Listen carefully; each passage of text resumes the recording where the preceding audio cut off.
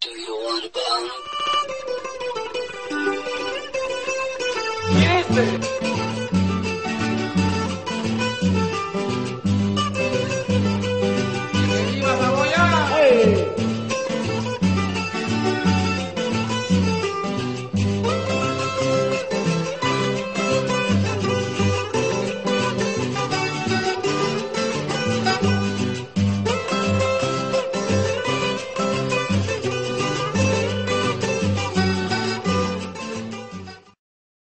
Colombian traditional game and basically consists of throwing metal tejo or disc which weighs between 0.5 to 2 kilograms toward a target area of about 75 square centimeters.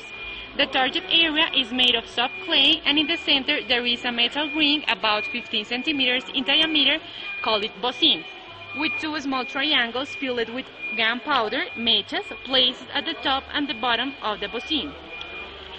Depending upon the rules agreed upon by the competitors, the idea is to throw the tejo and have it land inside the bocin, or to hit a mecha and have it explode. The competitors are divided into teams and players from each team alternate throws. A point is awarded to the team whose tejo is closest to the bocin. Of course, the tejo must stick into the clay in order for it to count. If a player gets a bocin, the team automatically awards 6 points the tejo is removed from the bocin and for the rest of the, of the round. The only points scored can be bocins or mechas. If a player hits a mecha and it explodes, the team gets 3 points and the round continues as normal. Another important rule is that it's compulsory to drink beer while it's playing the game. Using the facilities is usually free, but the place makes its money from the drinks. El chisme sigue.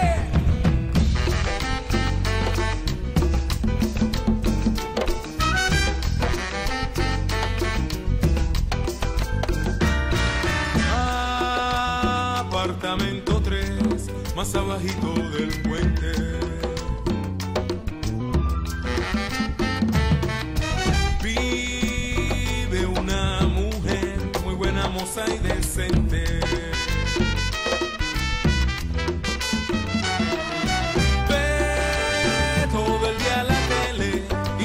Pasa pendiente de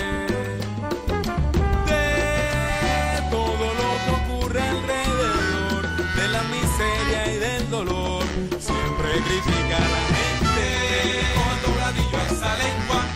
Hay que tenerlo presente. Que cojan dobladillo a esa lengua. Hay que tenerlo en la mente. Que le cojan dobladillo a esa lengua.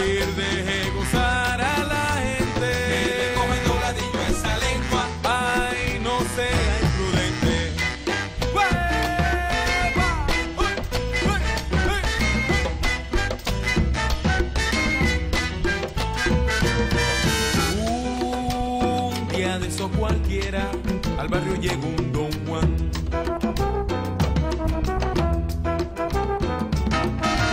Y como un huracán